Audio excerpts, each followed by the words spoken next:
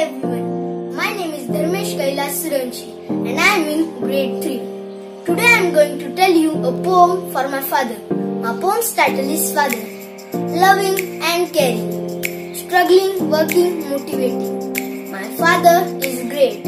Dad, thank you.